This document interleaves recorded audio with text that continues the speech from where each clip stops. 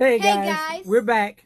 Um, we know we've been away a few days, and quite a few of you have reached out and was like, "Where are the videos?" and asked us to keep them going.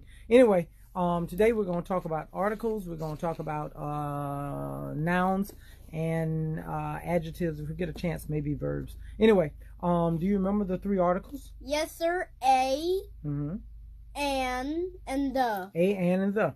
Do you remember when you use a before a noun versus when you use and before a noun? You use A when a consonant sound, Mhm. and you use an when a vowel sound. Use and before a vowel sound, a before a consonant sound. The idea is to not have two vowel sounds together. So if I say I saw a dog or an dog, a dog. I saw a dog because dog is a consonant sound, so you use the a. If I say change it from dog to owl, did I see a owl or an owl?